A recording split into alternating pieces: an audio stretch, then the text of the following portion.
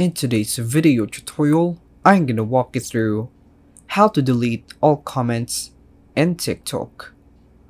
Clear Comment History 2023 This is a straightforward process, so make sure to watch the tutorial until the end of the video. Don't forget to subscribe and hit the like button to stay updated on the future videos. Thank you guys. To begin, open the TikTok app and navigate to your profile section. Tap on the three horizontal lines located in the top right corner. From there, select Settings and Privacy. Scroll down a bit until you find Comment and Watch History. Tap on Comment History.